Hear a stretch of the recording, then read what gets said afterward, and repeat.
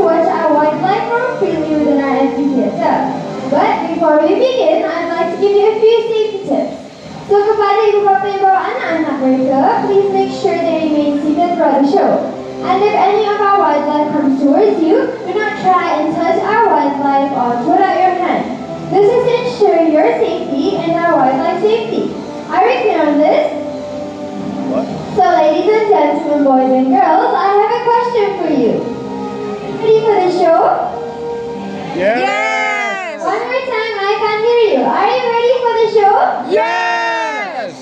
So let us begin our animal bird show by introducing our first bird species of today, a bird that can be found in the heavy tropical rainforest of Asia. Introducing our rhinoceros hornbill, atau juga burung badak. Now the bird that you see here is also known as burung kenyalang in Negeri Sarawak, and it is known to be the pride of the state.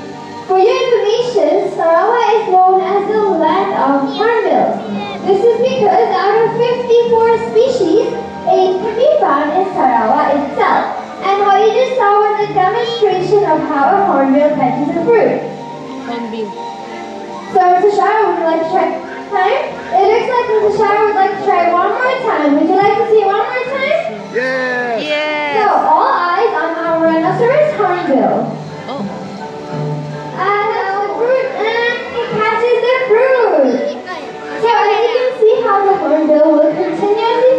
From one perch to another.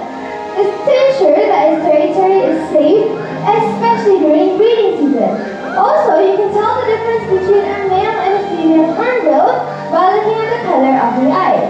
So if the hornbill has white eyes like our hornbill here, this means the hornbill is a female. But if the hornbill had red eyes, this would mean the hornbill is a male. And that's about it for our rhinoceros hornbill. Please give a big to our hornbill. And thank you, Mr. Sharod. One of the largest bird species that can be found in Asia. Now moving on, I'd like to introduce you to a smaller parrot species. And this parrot species has a very loud vocalization. All the way from Brazil, introducing our flock of centennials. Now as you can see, centennials have beautiful bright yellow feathers which resemble the ray of the sun. So this is why they are given the name centennials. Although they are very small in size, they have a very large vocalization which helps them call out to their flock when they get separated. So let's give a big clap to our burung matahari. Big clap. And now, after introducing you to a couple of our bird species, I'd like to introduce you to one of our mammal species. And this mammal species can protect itself using its... And this mammal species can be found here in Malaysia itself. Introducing our Asian palm civet, atau juga dikenali sebagai musang pandan over here on our island. Ah. Now, they are given the name Musang Pandan because they can release an odor from their urine which smells like long pandan. And they use this to mark their territory. Now, for your information, Asian palm civets are also known as an arboreal animal, which means that they are often found on trees. And because of this, they have a long a prehensile tail, which helps them balance while they're climbing the trees. And Asian palm civets are known as an omnivorous animal, which means that their main diet consists of insects and fruit. And that's about it for Asian palm civets. Let's give a big clap to our Musang Pandan. And that was one of the first mammal species of today. Now moving on, I'd like everyone our ICT theater to be silent for a while.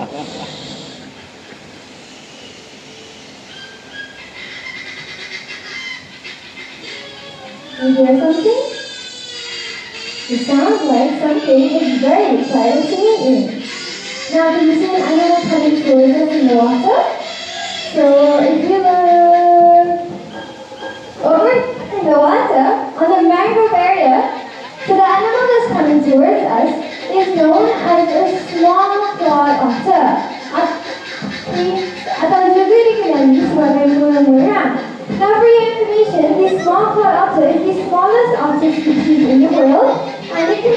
And today, Oh my Mr. God. Shah would like to demonstrate to you how an otter catches fish. So, Mr. Shah, what do you have here? So, Mr. Shah is holding a rubber fish, and what will you do it? So, Mr. Shah will throw the rubber fish in the water, and let's see if the otter can catch it. So, Mr. Shah has made his throw, and the otter is searching for the fish.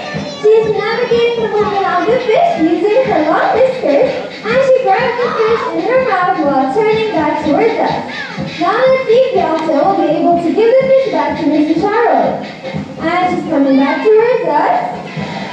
And she gives it back to Mr. Charles. Isn't that smart? Now because of how smart an otter is at catching fish, fishermen have used this traditional technique since centuries ago. And that's about it for our small clawed otter. Let's give.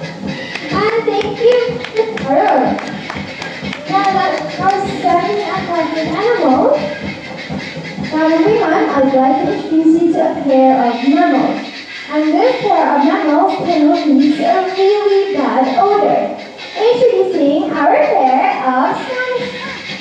They use this to protect themselves from any threats or predators around. And skunks are also known as a nocturnal animal, often active at night and they will rest during the day. Your information, skunks are also an omnivorous animal, which means that their main diet consists of insects and fruit. And that's about crop pair of skunks. Let's give a big clap to our skunks. All the way from South America. Now diggers. Introducing our group of meerkats. Meerkats are commonly found in the desert. And because of that,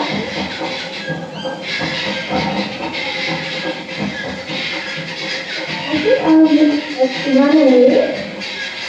Aren't you wondering why our meerkats are away? This is because our meerkats can sense the presence of one apex predator coming towards us. So further ado, ladies and gentlemen, let me introduce you to our apex predator that is known as our white-bellied sea eagle. Dikenali sebagai helang siput. Now the predator that see here is commonly known as the master of hunting on the sea. This is because it is often found on the surface of the sea. Now as you can see, it uses featherless legs.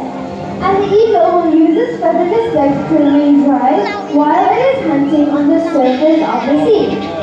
Now, tell the difference between a male and a female eagle by looking at the size of the body. So if the eagle has a smaller body like our eagle, this means the eagle is a male. But if the eagle has a bigger body like our eagle here, this means the eagle is a female.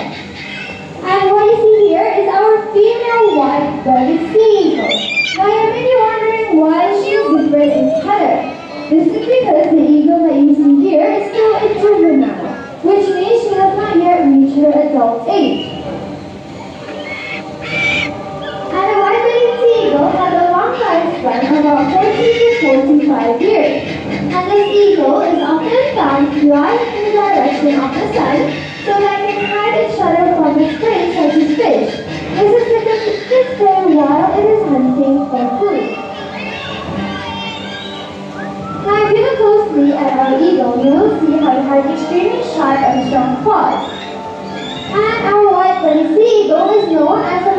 monogamous bird, which means it will only have one partner and it will only look for a new partner if its partner dies. Speaking of loyalty, let's give a big clap to our apex predator. Ah. And that was our white-bellied sea eagle. Now, after introducing you to our apex predator, moving on, I'd like to introduce you to our next animal. I'd like to introduce you to a medium-sized bird with a very loud vocalization. Introducing our guinea fowl. Particularly sebagai ayam api-api. Now, as you can hear, they have a very loud vocalization. And because of this, farmers use them as a natural alarm to alarm them when there are any threats or predators around. Farmers also use them as a natural pest controller because they are known is not picky eaters and will eat any harmful insects for the farmers. And that's about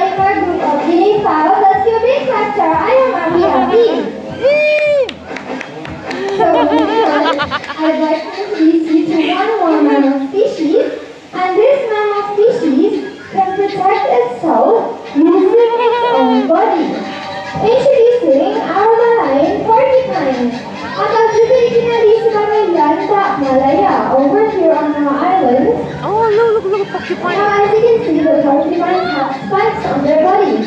Now many of you may think that the porcupines can shoot their spikes. But that is not true, they cannot shoot their spikes. If there are any threats or predators around, the porcupine will expand their body and move towards the threat to scare them off. Now for your information, the Malayan porcupines are the biggest porcupines that can be found in Asia. Fun fact about them is that the spikes on their body made out of keratin, which is the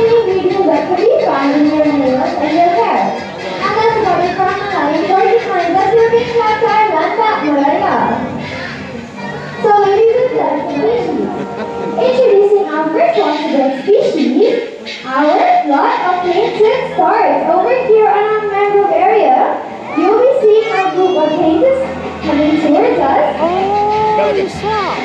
Now as you can see our group of painted storks over here, so they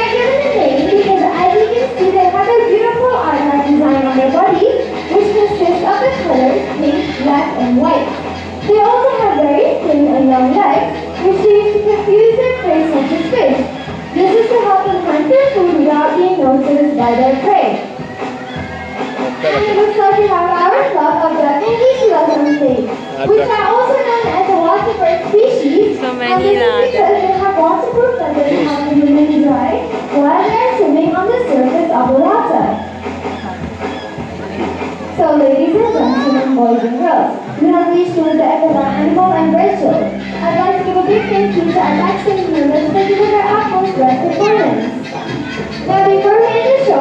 to open our sweet fly prison, This symbol of peace, love, harmony, and prosperity, and that is a wish for all.